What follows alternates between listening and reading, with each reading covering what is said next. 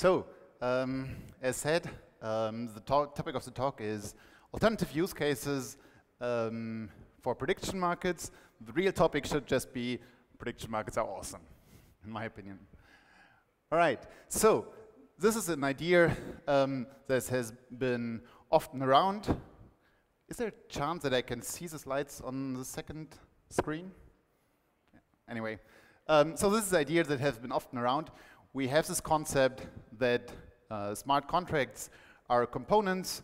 So someone builds an identity component, someone else, and that means every contract uh, can use the identity component. Every contract contract has the concept of identity. Someone else builds a general registry.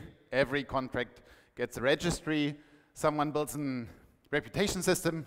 Every contract gets a reputation system. Someone builds a stablecoin. Every contract gets a stablecoin. So I want to show um, the components we are bringing, we bringing to the ecosystem, and we are building a general prediction market platform, and there are a few applications I want to present. So I want to present how we bring to every contract the ability to incentivize actions. I want to show how every contract gets the ability to gather information and have has um, precise forecasts. And I want to show how every contract or every, for example, DAO has the option to use prediction markets as a governance um, mechanism. For that, um, this is the base contract of a prediction market, and it is really simple. But that is, in my opinion, the good thing.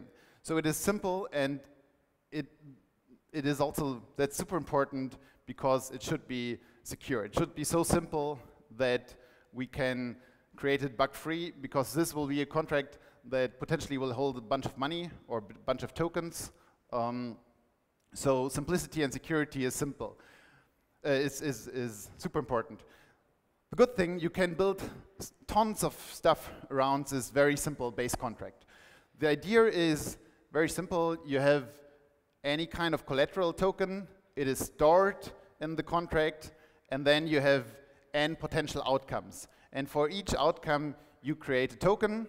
The token will be created, and there's an oracle that later will um, will ping the contract and um, and set the contract in a way that, that one of those outcomes are chosen.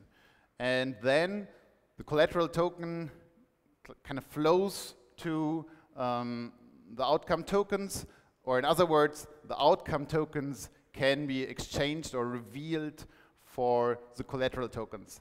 The outcome token of the, the winning outcome will have the exact same value as, as the collateral. It's important to note that the Oracle can be any kind of contract, so it can be, so the Gnosis platform will be there agnostic, uh, it can be decentralized Oracle, it can be a centralized Oracle, it can be some combination, it can be centralized Oracle with a backstop mechanism as a decentralized Oracle and all kind of things. But now let's look at some properties this brings. So again, we can we have the simple function buy all outcomes in contract code, Solidity code. You put in one or n collateral tokens, and you receive uh, n token of each of each outcome. And you can do it the other way around. So you could take a complete set of outcomes and exchange it to the collateral token. And finally, as soon as the outcome set is set, you can exchange the winning outcome token against the collateral. And that brings a few um, relationships about the values um, of those tokens. For example, one outcome token will always be smaller or equal in value than the collateral token. But enough of that, so now see uh, now have a look, uh, let's have a look how we can use this uh, concept in practice. So the canonical example for prediction markets is to buy or sell information. We want to have an information, um, for example, when will Casper be released? So we can set up a prediction market and we have different outcomes. Let's say first outcome is um, early next or first quarter next year, second quarter next year, and so on. and then we just create a market for those. We discover the prices, and the prices are always directly um, the forecasts. To overcome, um, to, to have good prices, it's useful to use something we call an automated market maker. So we um, reserve a bunch of funds, and they will continuously create um, an order book or an arithmetic order book um, and continuously provide a price, an exact price for those outcomes. And everyone who, who disagrees with this price, who disagrees with this forecast, has a direct incentive to trade against the automated market maker and by this trade providing the information, the, pro the probably private information he or she has into the market, return money if, if he's right, but reveal the information to the market and make it public. So again, how would this look like in a concrete example? The event would be when will Casper go live, could have three potential uh, outcome tokens, and we can just observe the price of those out outcome tokens and know directly um, what is the likelihood. An example we already, uh, from our live market from already six, seven months ago was a simple forecast on the difficulty with four different outcomes. And you just see a graph how the prices change and you see the property that the prices always together sum up to, to one, in this case to one Ether. Ether was a collateral token. And eventually they will converge, one outcome will converge against the price of one because that will be the winning outcome. And, and eventually it will be uh, have the same value as the collateral as Ether. But there are more applications we can do. So Another application is create an incentive. So we do a market, we do a, create a market on something we want to happen, and then we have, again, two outcomes. It will happen or it will not happen.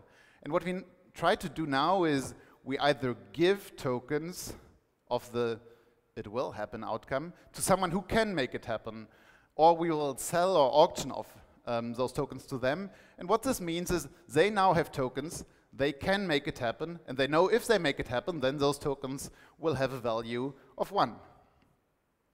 So, for example, if you want to change the legislation, um, the BitLicense legislation in New York because you think it's not a good idea, um, you could create such an incentive market. Create a market, will it be changed? And obviously you should specify it a little bit more in a, in a positive way. Um, and then you pile in just a bunch of money and and you hold the no tokens um, and you try to sell or auction off the yes tokens. You, tell, uh, you, you take the yes tokens and just do a simple auction. Who, who bids something for, that, for those tokens? And that can be a very small price. If someone thinks they can do something to make it happen, they should buy those tokens at a very little price, make it happen, and then reveal it against um, the full collateral. If, if they buy those tokens, and they cannot manage um, to make it happen, well, in the end, you will you will kind of win the you will win the money um, you sold it for. Your money will be you have a little bit more money, and you just put it into the next prediction market. In fact, you can already set up a contract who would repeatedly do this until it is achieved. So you put your money really to work. So you put your money in a contract, and it will constantly create an incentive until it is done.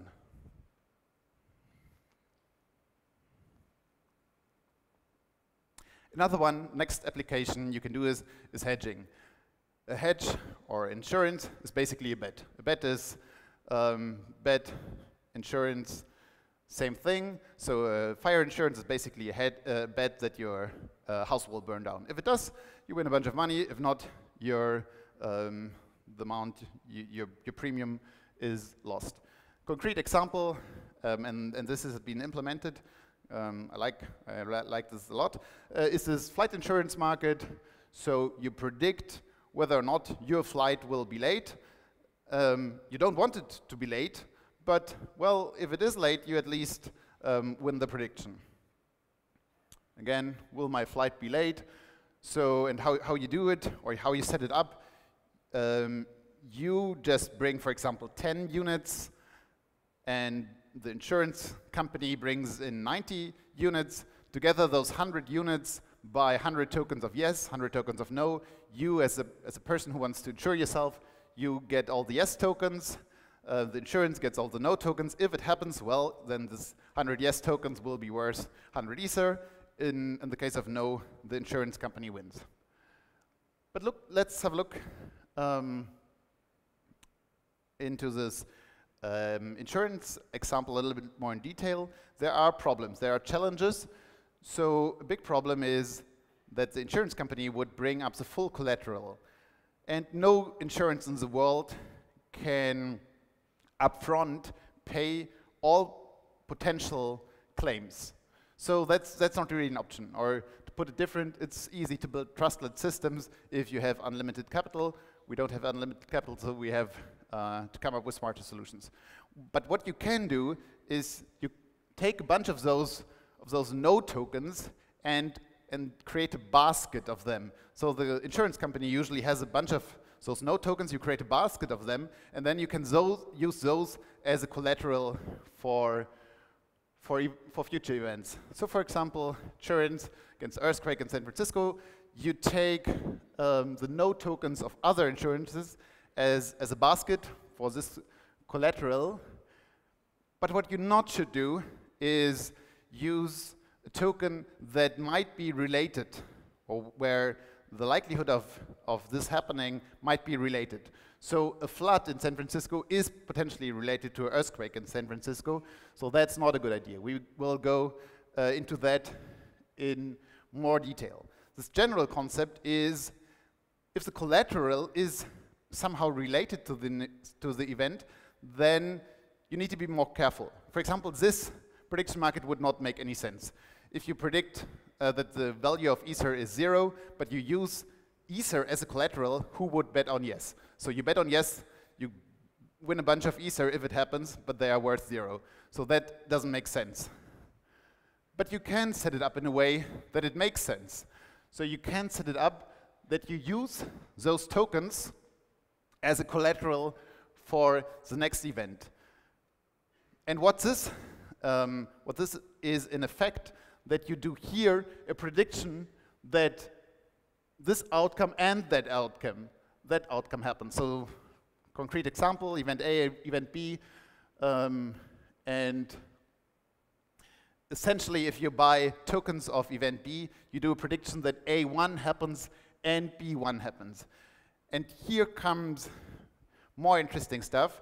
So here, by setting up those markets, you can see whether or not there's a relation between event A and event B. If there's no relation between the two, then the ratio between BA1 and BA2 should be the same as the ratio between B2, A2 and B,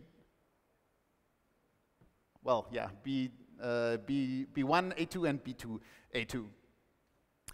So, simple example, will the sun shine tomorrow? Will the, and will the price of Ether be above $20 in, let's say, two months? Um, that's potentially, or I, am pretty sure that is an independent event. If you would do the th same thing as Poloniex would get hacked, it's probably not an independent event. And you would see, uh, in this case, that the ratio here is, is different. So pretty sure if Poloniex gets hacked, then the likelihood here is smaller that it will be um, bigger than $20.